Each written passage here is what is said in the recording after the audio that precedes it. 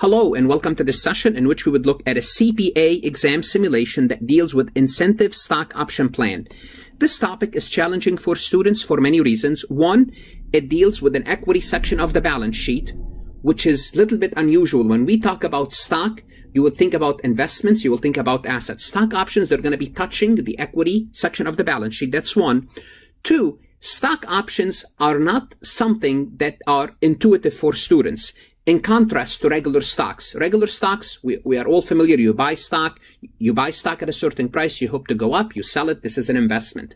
And how to account for an investment is challenge as is. So when it, when you include stock options, it makes it a little bit more challenging for students. Now, the good news is this.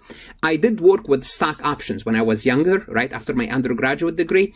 I worked with Merrill Lynch and I handled incentive stock option plan for various companies. So I'm familiar with this topic. I was very, very familiar with it actually in the real world, not from an accounting perspective, from a finance perspective, but able to, if I'm able to explain it to you from a finance perspective, then you'll be able to understand it from an accounting perspective. And this is what I'm going to try to do by going over the CPA simulation. Now, whether you are an accounting student or a CPA candidate, I strongly suggest you check out my website, farhatlectures.com. I don't replace your CPA review course.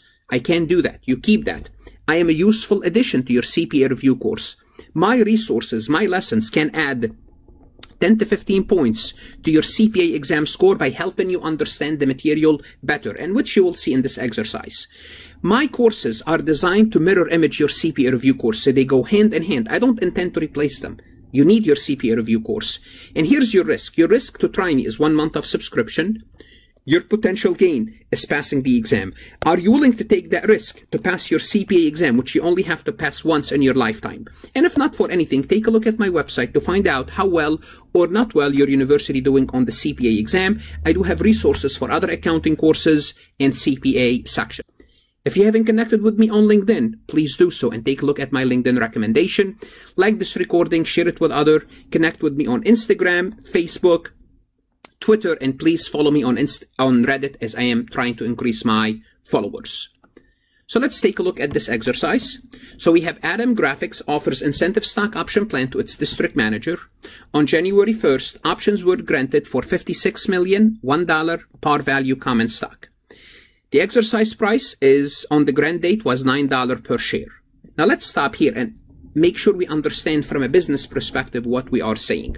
What we are saying is this, Adam Graphics it's a company. And what they did to, comp- to, to encourage their employees to work hard for the company, they told them, we're going to give you 56 million shares. You can buy those 56 million shares at $9 per share. That's what a stock option is, giving you the option to buy it at $9. The key here is to drive the stock above $9. When the stock price is above $9, if the stock price is 12, guess what? You buy for 9, you have the option to buy for 9 and you make an automatic profit of $3. Okay, so this is the idea. And they granted 56 million shares. Options cannot be exercised prior to January 1st, 2023. But you have to wait. Although we're giving you the options now, you have to work at least two years for the company. And after two years, that option will vest. It means you can exercise it. And you have from January 1st, 2023 till December 31st, 2027. Let's take a look at a time frame here. This is 2021. This is 2022. This is, let me put 2023 in a different color. 2023, 2024, 2025, 2026, and 2027. So first thing is you have to work those two years. You have to work those two years. Then after those two years, this is when you can, what we call, exercise the option. Okay, so the first two years, simply, you're not, I'm not gonna, I'm gonna use the word restricted. I'm not really sure if this is 100% correct. It's not vested, not restricted. The options are not vested. So the first two years, you have to work for the company. Okay? Then, the years in green, you can exercise the option. So here, you can buy the stock for $9. And you're hoping the stock to be, you know, $100, whatever. Okay, so that's the key. So this is the picture that you are looking at, and you are granted those options today. All right.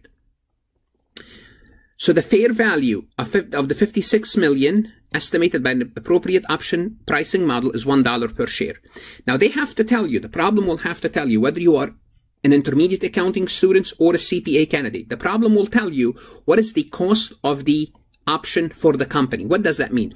It means you have a CFA or a specialist or an investment banker that they will tell you the cost for the company is that much. And the cost for this company, they're telling us $1 per option times 56 million. So the cost, so the first question is what's the compensation expense?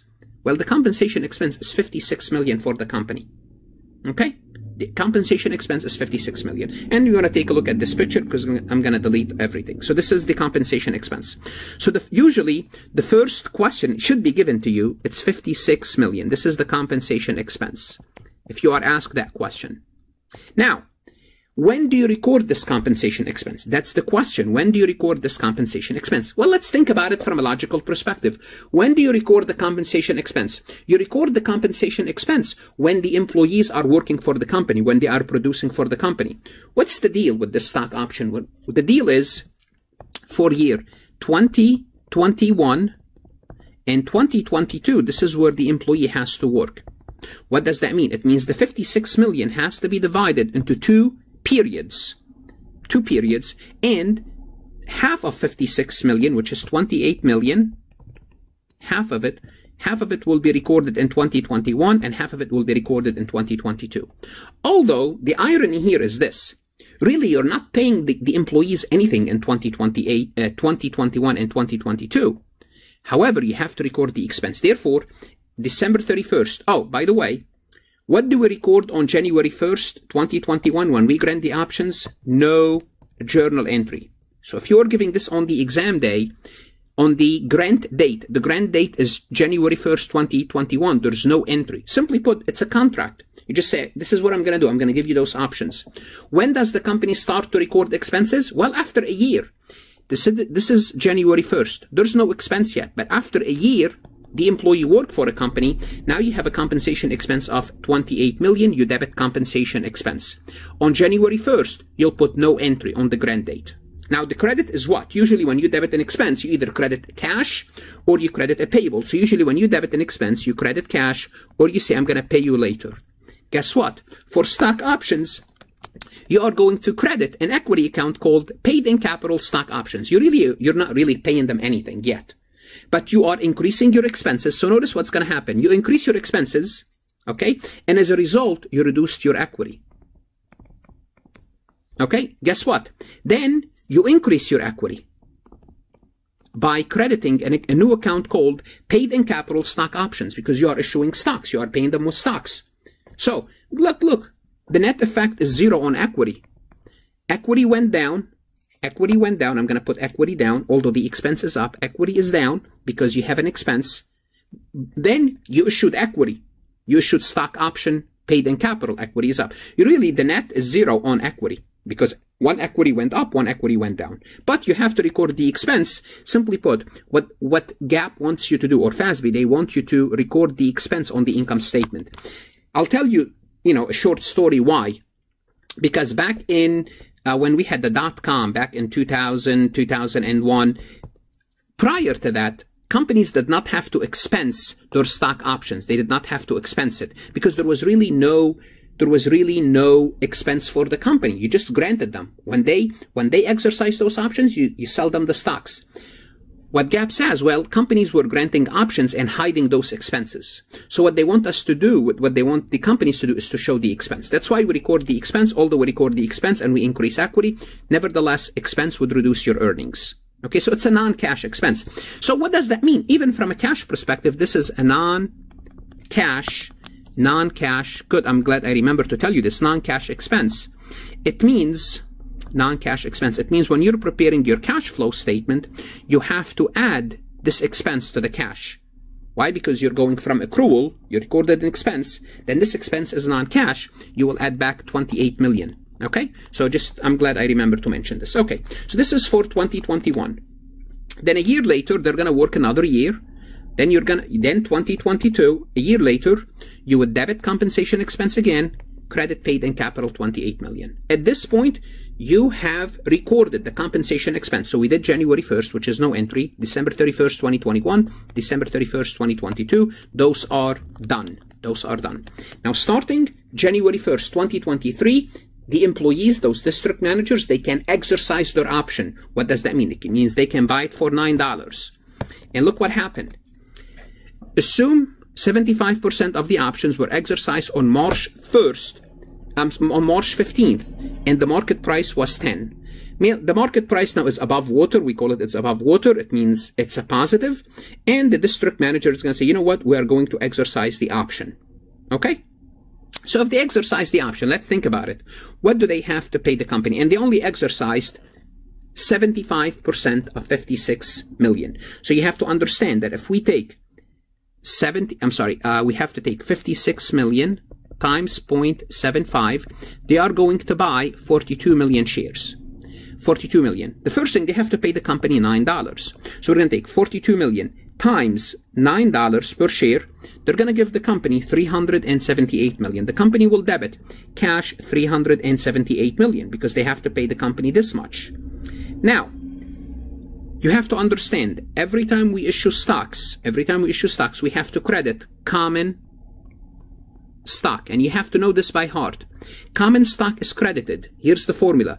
Number of shares times the par value. What's the number of shares here? 42 million. What's the par value? Dollar.